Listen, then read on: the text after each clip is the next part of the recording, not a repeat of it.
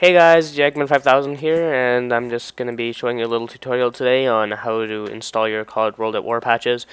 Um, yeah, we can take a look at all my cool gadgets on the side, and just on a little off-topic note, if you want this background, on this Merry Christmas background, uh, one of my friends, um, you know, it's Forgiven Arts thing, uh, one of my friends, Marcus, or Project, uh, I believe he was participating in making this, so it's open to everyone if you want it, just PM me for that, or I'll put the link in the description for the download.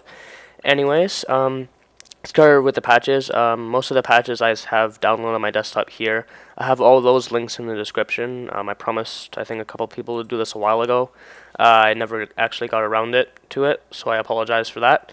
Um, but I'm just going to show you now. So anyways, you need to do an order, so from 1 to 1.1, 1.1 to 1.2, etc., etc.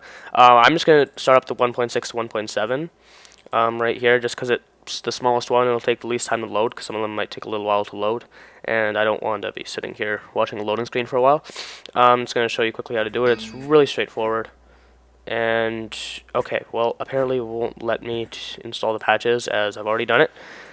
But, you pretty much just run the patch, and what you do is you click um, next, and next, and next. So you, all the default settings, everything that says in there, you keep the same. You do not change anything in there. You just keep on clicking next on the installation, accept the terms and conditions. Um, that's really how the best I can explain it to you. Um, because really, you just don't change anything. Make sure you not change the root folder that installs it to. Otherwise, it, of course, will not work properly.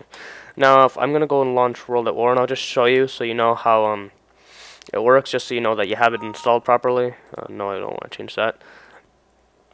Uh, let's see if it just comes up here.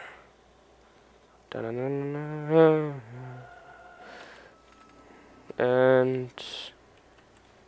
Okay, well it turns out the game didn't really launch like that, but I'm just going to quickly show you. I'm just going to pause and start the recording again just to show you what it looks like in-game. Okay, so pretty much here's your in-game menu and everything, right? You know, Smallboy 5000, that's me. You can always feel free to add me.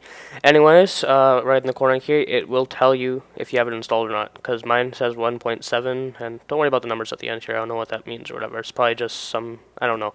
Anyways, just worry about that. Make sure it says 1.7. If it says that in the corner, you're perfectly fine. You've done it right. Uh, you have the other and that's about it. It's really easy. You can play uh, however you want. And that's it, guys. Thanks for watching.